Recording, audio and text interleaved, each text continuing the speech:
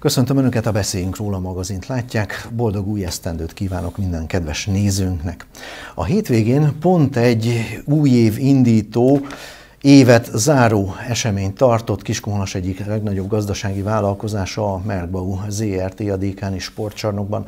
Több mint 600 dolgozóját látta vendégül ez a cég.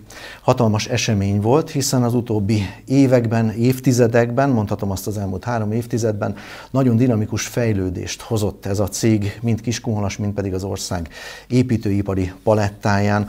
Úgy gondoltam, hogy ismerjük meg egy picit jobban ezt a vállalkozást, amely nagyon sok olyan szervezetet, akár nyugdíjas otthont is támogat itt Kiskunhalason, amiről néha tudunk, néha nem tudunk, hiszen nagyon sok támogatást úgy adnak, hogy nem verik nagy dobra, de nagyon szívesen adják.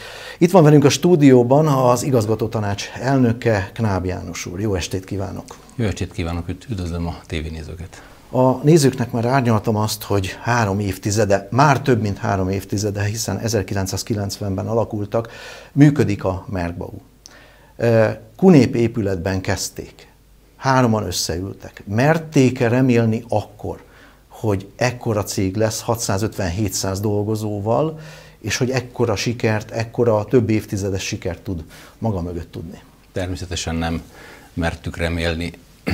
Nem, nem is olyan indítatással uh, alapítottuk a céget, hogy majd egy szép napon ekkora cég lesz. Szerintem minden akkor alakult cégnek megvolt, vagy megvan a dinamikája, és, és a mi cégünk is úgy gondolom, hogy organikusan tudott fejlődni a 30-33 év alatt. Összeült három fiatalember, hogy kezdjünk valamit, hiszen mindenkinek van családja, mindenki szeretne házat, mindenki a 90-es években szeretne valami újat nyitni? A sztori az, az egy picit szerintem egyszerűbb volt.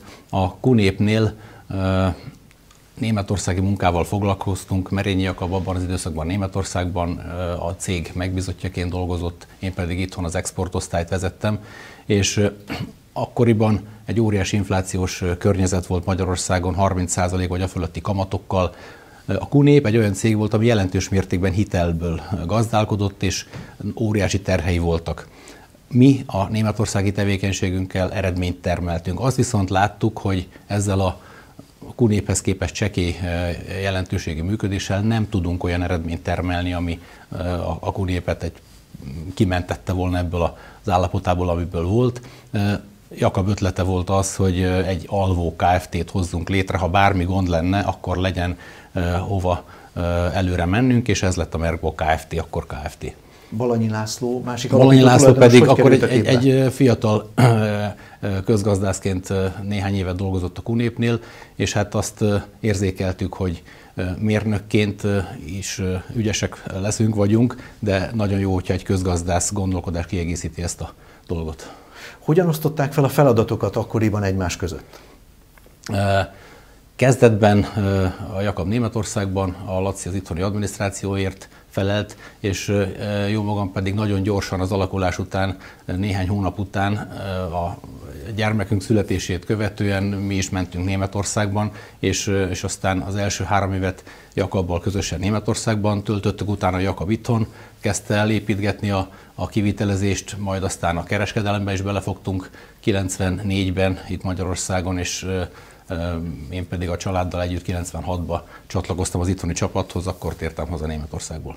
90-es évek, én akkor ilyen 20 éves voltam, hát nem a gazdasági folyamatokkal foglalkoztam gazdasági szempontból. Milyen időszak volt ez? Milyen piaci környezetben kellett itt észszerű és előremutató döntéseket hozni? Éppen nemrégiben fogalmaztam úgy, hogy mi, mint Merkba Kft. ezt a 90-es rendszerváltást időzőjelben elbuktuk. Nem voltunk itthon ugyanis, nem voltunk részesei az itthoni gazdasági folyamatoknak. Mi akkor Németországban dolgoztunk, ott volt olyan időszak 93-96 mm, között, amikor több mint 300 fizikai dolgozóval dolgoztunk Németországban, különböző építőipari cégek alvállalkozóiként.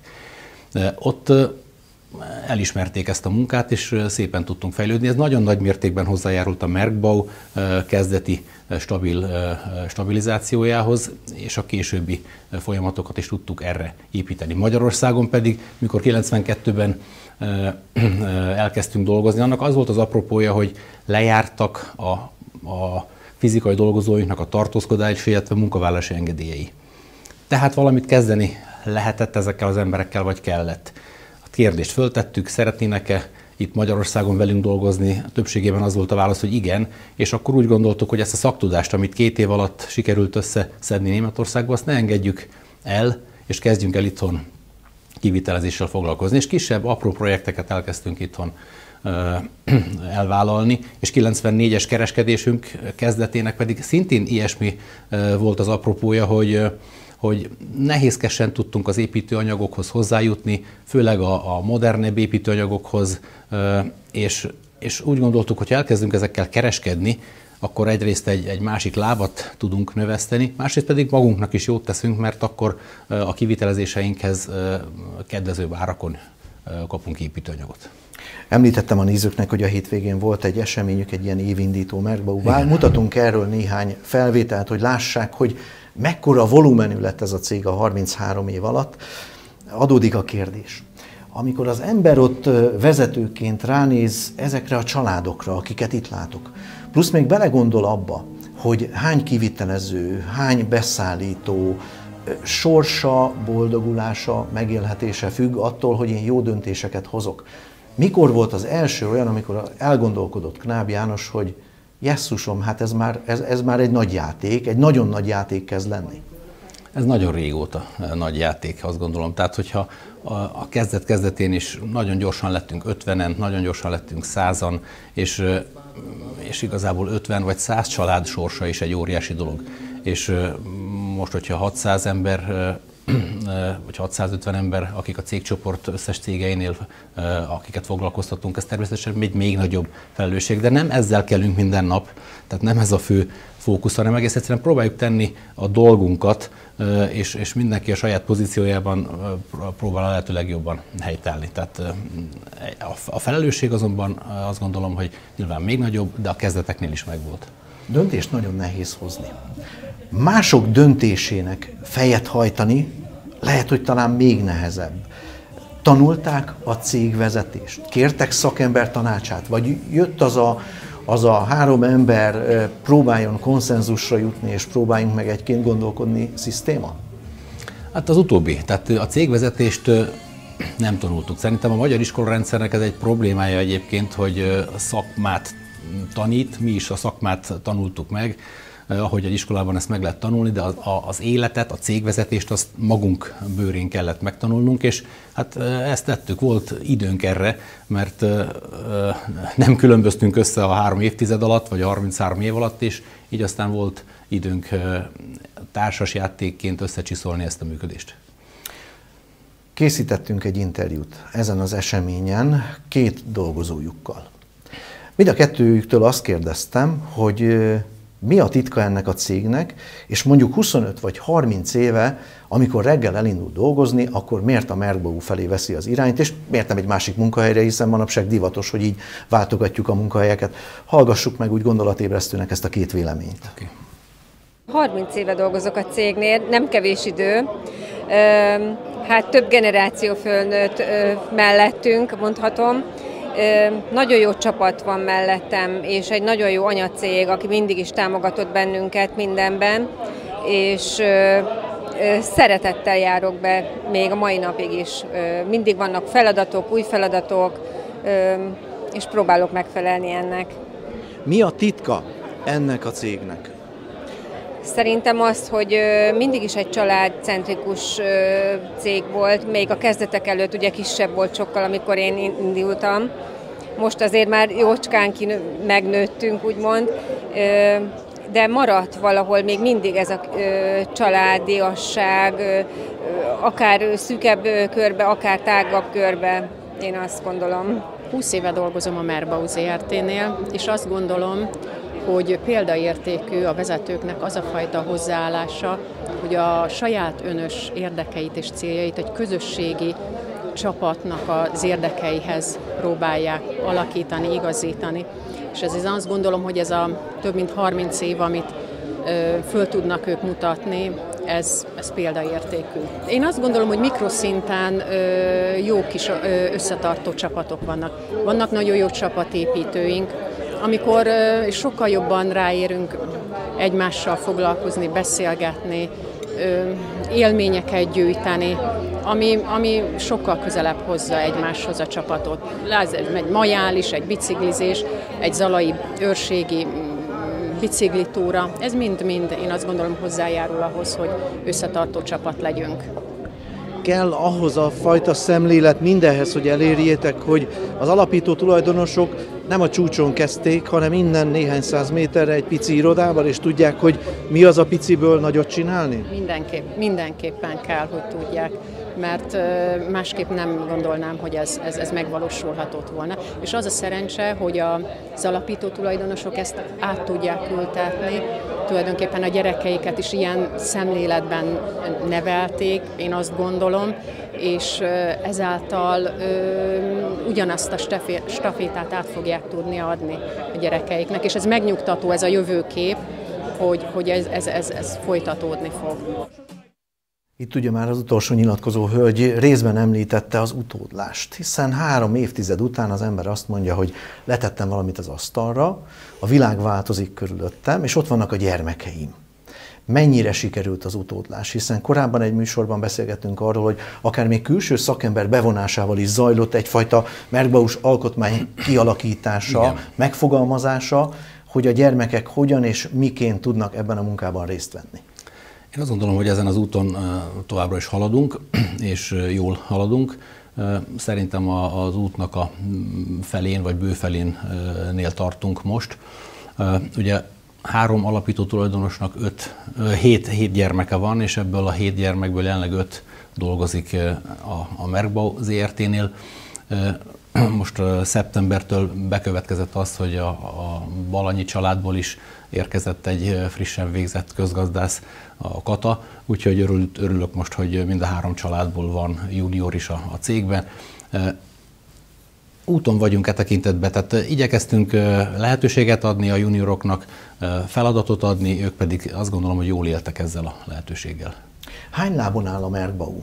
Hiszen nagyon sok ilyen éves beszámolóban azért kiderül, hogy a különböző üzletágak jól jönnek, hogy ennyi lábon tud állni a cég, hiszen egy-egy adott gazdasági évben nem biztos, hogy mindegyik ágazatnál annyira rózsásak, rózsásak a, egyáltalán a nemzetközi, a kereskedelmi, a gazdasági helyzetek. Négy fő területet szoktam meghatározni a, a Merkbau csoportnál, hogyha ha ezt így megkérdezik tőlem. Ezen belül sok alláb van még, de hogyha a négy fő területet megnézem, és akkor, akkor azt tudom mondani, hogy az építőipari kivitelezés, a generál kivitelezés az egy fő és talán a legerősebb lába a Merkbaunak, az építőanyagkereskedelem, szerszámkereskedelem, tehát a kereskedelmi tevékenység az egy másik erős lába. A harmadik láb, és akkor ez sok elágazásból áll, az a cég csoport, az a cég háló, akik, akik még a Merkbau csoporthoz tartoznak. Ide tartozik a a CMT Kft., amelyik elektromos szereléssel foglalkozik, a KMB Kft., amelyik épületgépészettel, vagy az ABEX Kft., amelyik nyilászáró gyártással, műanyag és alumínium nyilászárókkal foglalkoznak. Ide tartozik a Halasbau Kft., aki Németországban dolgozik, két külföldi cégünk. Tehát a, a, a társcégeink, ez egy harmadik fő láb, sok allábbal, és van a úgynevezett támogató terület, így hívjuk azokat a területeket, amelyek nem csak a Merkbaunak, hanem az összes cégnek dolgoznak, ilyen a HR, a marketing, a, az irányítási rendszer, az IT, és ezek a, ezek a, a, a munkatársak, akik körülbelül 60-70-en vannak, akik, akik támogatják a tevékenységünket, akik, akik tulajdonképpen nem a, az építőipari generál kivitelezéshez értenek, tehát nem mérnökök ilyen értelemben, nem építőmérnökök, vagy nem kereskedők, hanem egy komoly IT szakemberek, vagy HR szakemberek, vagy éppen ami. Megmaradtak barátok az alapítókkal? Összejárnak? Persze. Na, ez jó hallani. Tehát nagyon sok programunk van, itt éppen az előbb el is hangzott, hogy, hogy ez, a, ez az évelei rendezvény, ez a, a kicsúcsosodása, és szerintem a, szeretném azt mondani, hogy az elhagyhatatlan rendezvény a mi cégünknél, az év záró, év nyitó esemény, amit így, így minden munkatársnak és a párjának szervezünk. De éppen a Covid után jöttünk arra rá, hogy újra kell építeni a csapatokat, és a kis ilyen mikrocsoportokat, vagy kisebb csoportoknak a csapatépítőjét is preferáljuk, és ezért jönnek elő ezek a kerékpártúra, vagy ilyen kirándulás, vagy, vagy a karácsony előtti vacsorák, vagy, vagy sok-sok olyan program, amit kisebb csoportokba a munkatársak részvételével igyekszünk szervezni és támogatni. Persze, és akkor itt megvannak a, a barátságok is. Több ez a cég, mint munkatársi közösség, úgy gondolom sokkal. Ú, de jó ezt hallani. De jó ezt hallani a mai világban. Adódik a kérdés. Merkbau, hogy szerepel Magyarország építési palettáján? Mekkora pöttyöt lehet úgy odarajzolni a Merkbau neve mellé? Hát a Magyarország építőipari kivitelezés az körülbelül 6000 milliárdnyi teljesítményt tesz le. Ugye az évosz vezetőségében résztvevőként ezt úgy látom. A Merkbau körülbelül 40 milliárdot épít, az árbevétele pedig 55 milliárd lesz az idei. Tehát én azt gondolom, hogy a, a Merkbau látható léptékű projekteket valósít meg Magyarországon. Nem vagyunk a leges legnagyobb cégek között, tehát nem abba az első négy-öt legnagyobb magyar cégbe, de azt gondolom, hogy az első 10-15 cég része vagyunk Magyarországon. Aki nyomon követi a Merkbau-nak az életét, vagy akár csak a, a kapcsolatos híreket, az jól láthatja, hogy jó néhány csarnok épült, akár magas raktár, webáruház raktár, asztalos üzem, megjelent a Merkwood csarnok, aztán épült egy, egy center, lassan már kicsi lesz a hely. Tudatosan megpróbálják akár az acélszerkezetet, akár a különböző egységek gyártását itt tartani? Mi ennek az oka, hogy inkább saját magának legyártja, mint hogy valami külső vállalkozóval legyártatja? Régi gondolat ez, még a, a, a három alapító gondoltuk úgy, hogy az építőipart nem igazából csak végeztetni szeretnénk alvállalkozókkal, hanem szeretnénk a képességet is megteremteni magunknál, hogy sok tevékenységet magunk is tudjunk végezni. Ezért ezeket a szakmákat, amik, a, a, amik az építőipar által preferált szakmák, kőműves, ács, lakatos, betonacélszerelő, aztán később a nyílászárógyártás, stb. stb. Ezeket szerettük volna művelni valamilyen szinten, és utána rá kellett jönnünk arra az évek során, hogy hogy bizonyos dolgokat vagy elengedünk, és nem fejlesztjük, vagy fejlesztjük. Így alakultak ki például a betonacél a hajlító, vágó üzemünk, csarnokunk. Azt megelőzően is foglalkoztunk betonacélvágással, hajlítással valamilyen sufni konténerben, nem volt gazdaságos, és abba kellett volna hagyni, vagy fejlesztünk. De ugyanilyen volt a, a, az acélszerkezeti üzemünk is. A lakatos üzemnek hívtuk, és hihetetlen hatékonytalanul dolgoztunk, így utólag. Most pedig egy sokkal nagyobb léptékben nagyjából ki tudjuk szolgálni a, a, a kivitelezésünk igényeit. És persze ez egy, ez egy örök dilemma, hogy, hogy jó ez az út, vagy nem jó. Amikor, amikor stabilan számíthatunk a saját kapacitásunkra, akkor örülünk neki, és jó az út. Amikor, amikor egyébként nem tudjuk ellátni munkával, és a külső piacra kell nekik menni feladatért, akkor, megint, akkor nehezebb akkor azzal is még külön törődni kell. Összességében egy, egy, egy folyamatos egyensúlyozás ez a saját kapacitás és külső kapacitás igénybevétele így a mi életünkben. Talán ebből a beszélgetésből eddig is árnyaltan kitűnt, hogy nem csak a csarnokok és a benne lévő gépek a nagyon fontosak, hanem a legfontosabb az ember, Ez aki ott van és jön reggel, és lehet rá számítani, hiszen egy beruházásnak van eleje, vége, aztán van ködbér, és az összes többi, hogyha az nem úgy zajlik. Hány dolgozót tudna még felszippantani a Merkbau akár jelen pillanatban, milyen területeken? Mert leginkább én azt látom, hogy Magyarországon, nem csak ebben a régióban, óriási szakember hiányjal küzd, nem csak az építőipar, akár az egészségügy, akár a vendéglátás. Igen, azt kell látni, hogy a szakember a gárda, a szakember gárda minősége, az, az egy, ez egy óriási kihívás. Mi foglalkozunk mm, több tíz éve szakmunkás képzéssel is, és és hát azt kell mondanom, hogy ezt is azért tesszük, hogy néha maradjon nálunk egy-két-három szakmunkás, aki, aki nálunk tanult, és, és talán megtetszett a cég, és, és bízunk abba, hogy esetleg ki tud teljesedni majd végzett szakmunkásként. De, de nem tudom én sem azt mondani, hogy a, a, a szakmunkás gárdánk minősége az, az különösebben fejlődött volna az utóbbi években. Sajnos nem, nem tudom elmondani. Nagyon sok, nagyon sok régi jó szakemberünk volt. Említettem, hogy 300 fizikai dolgozóval dolgoztunk Németországban. Hát a közelében nem vagyunk ennek, hogy, hogy 300 jó fizikai dolgozónk legyen, akikkel építkezéseken meg tudunk jelenni. Nem erről van szó. Van egy mag, aki köré különböző lokációkban, ahol dolgozunk Magyarországon, Nyíregyházától Győrig, vagy Nagykanizsától, nem tudom, Szegedig, ahol, ahol lokális alvállalkozókkal egészítjük ki a Merkbau mag működését. Munka mennyi van?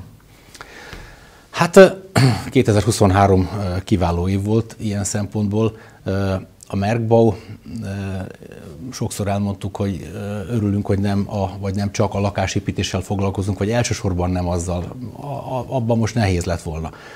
A, a logisztika, az ipar és néhány középület, amivel mi foglalkozunk, ebben a szegmensben megtaláltuk azokat a befektetőket, azokat az építetőket a magánszférában, ahol 2023-ban tudtunk elég munkát vállalni. Olyannyira, hogy árbevétel szempontjából a kivitelezésünk az egy, az egy jó évet zárt, és még úgy gondolom, hogy eredményeset is, de hogy a kérdésre válaszoljak, hogy munka mennyi van, az mindig a jövő, jövő célozza ez a kérdés, és még azt is mondhatom, hogy megfelelő ár, áthúzódó árbevétellel fordultunk 2024-re.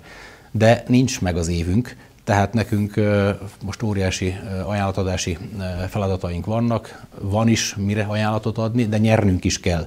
Tehát március, április, májusban újabb feladatokat kell elkezdenünk. Akkor dől el a második fél év? Akkor, akkor dől el az év. Meg még már lassan lehet, hogy a, a 25-ben az áthúzódás is. Tehát ezek a projektek, amiket mi megvalósítunk, ezek körülbelül 10-12 hónapos átfutások általában van hosszabb is, van rövidebb is, de de könnyen lehet, hogy májusban olyan projektet kezdünk, vagy legalábbis szeretném, ami már akár 2025-re is majd átúzódik. Ad egy biztos alapot. Második fél évtől mindig az az értékes, ami már a következő évre is át tud nyúlni. Ad egy biztonságot. Igen, igen. Kereskedelemmel mi a helyzet? Hiszen itt Magyarországon úgy gondolom, hogy akár a gépkereskedelem, a építőkereskedelemben azért, azért van lehetőség, ahonnan tud válogatni az ember. Mi a Merkbau stratégiája? Kereskedelemben éppen ellenkező a helyzet. A 2000 22-es év volt egy kiemelkedő év, minden támogatta a, a, a kereskedelemnek a fejlődését. 2023 pedig éppen ellenkezőleg egy, egy óriási visszaesés volt országosan. Ugye részesei vagyunk az Újház ZRT-nek, ennek kapcsán rálátunk az országos építőanyag kereskedelem tevékenységre, és azt lehet mondani, hogy 30-35%-ot esett vissza az építőanyag kereskedelem Magyarországon. A Merkbau-nál a törekvés az volt, hogy lényegesen kevesebb legyen a visszaesés az országos átlagnál, és ezt sikerült nekünk hozni. Azért az ember fejében zakatolnak ezek a számok, meg projektek, meg beruházások, meg minden. Hogyan lehet ezt picit feledni? Mert óriási súly. Ha csak én arra gondolok, hogy az ember elvégzi a napi munkáját, de az önök munkája, a három alapító tulajdonosért, ettől azért sokkal szerteágazóbb. Hogyan lehet ezt feledni egy picit?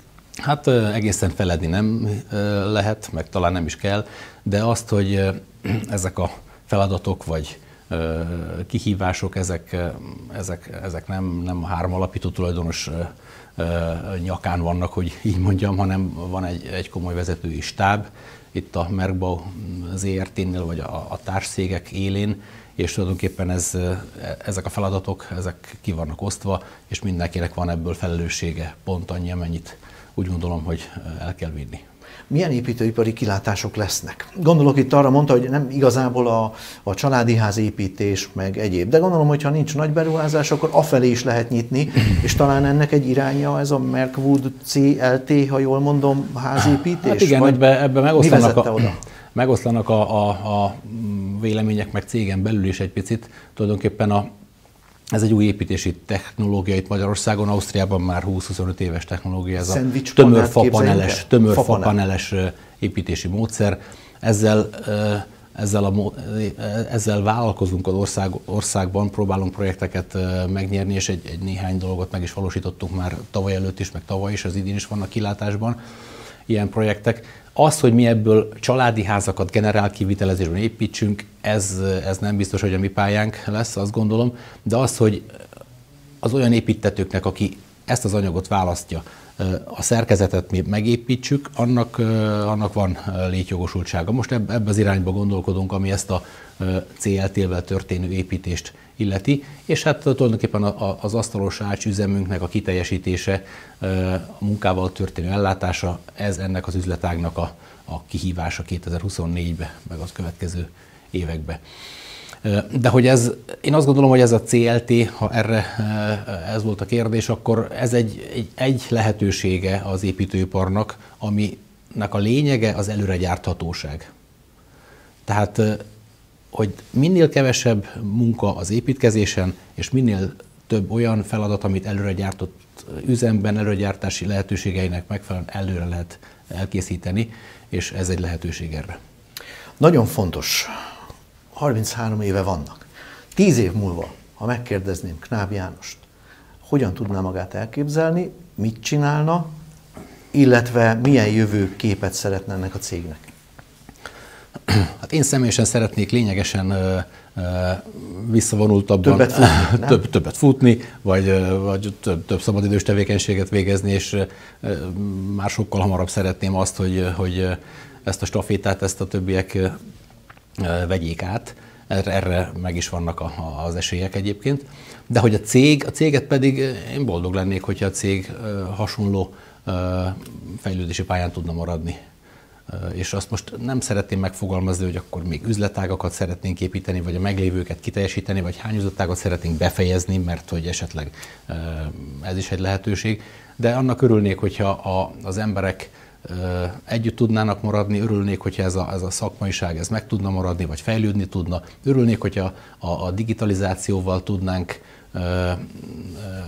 felzárkózni, vagy élre állni, vagy az, az első közé felzárkózni. Tehát ezen dolgozunk is egyébként, és azt gondolom, hogy ez lesz a következő tíz évnek az óriási kihívása, hogy hogy tudunk egy modern, még modernebb építőipari vállalkozás lenni. A fiatalok milyen ötletekkel álltak elő, amit apaként, alapító cégtulajdonosként, és a, a gyermekét a cégbe bevonó apaként azt kell mondani, hogy lehet, hogy nekem ez már idegen, de hiszek neked. Hát amikor ez a kérdés elhangzik, akkor egy dolog biztos eszembe jut, a, a cégen belüli belső kommunikációs rendszernek a kialakítása. Létezik egy ilyen merkmondó felület, ahol tulajdonképpen minden információ a munkatársainkhoz akár szűrve, csoportonként, vagy akár a teljes cég irányába el tud jutni, és, és ez egy olyan gyors és frappáns és elektronikus felület, egy platform, amit nem hiszem, hogy mi szeniorok észrevettünk volna, hogy ezt kell alkalmazni, de boldogok vagyunk ettől, mert, mert sokkal gyorsabb, sokkal effektívebb, hatékonyabb, és egész egyszerűen működik. Gondolom, hogy régen azért sokkal egyszerűbb volt a dolgozókkal, volt 30-40 beosztott, mindenki tudta apja, anyja nevét, gyermekei nevét. Most a 700 körüli embernél fejben lehet tartani ezt, hiszen egy-egy ilyen bál arra is remek esemény, hogy olyan emberek találkozzanak, akik esetleg csak e-mailt vagy messenger üzenetet váltanak.